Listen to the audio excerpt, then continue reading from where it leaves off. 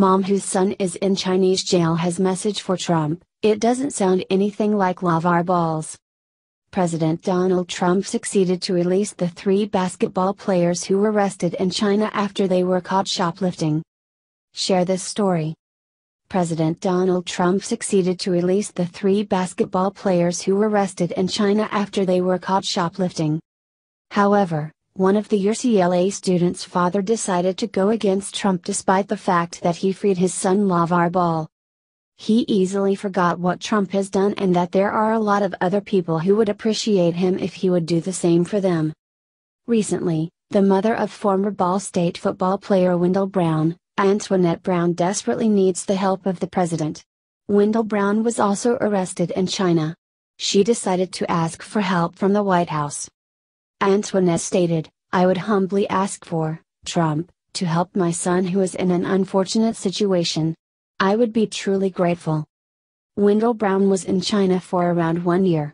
He was the coaching one football team and also taught English. Everything was ruined when he was taken into custody after one bar fight back in September 2016.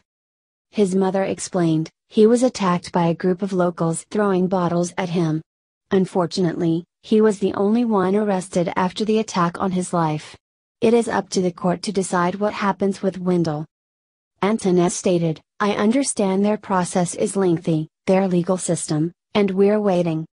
She also explained that the lawyer did an amazing job improving his innocence during the trial, but she is still waiting for answers from the judge. She said, We pray for fair justice for an innocent man. Unlike the father of the UCLA student, Antoinette claimed that she would most definitely would thank him for no problem, if President Trump managed to help her.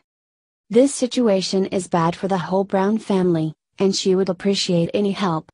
Surely, Trump will do anything that is in his power to help their family. Hopefully, he will succeed and give Wendell his freedom.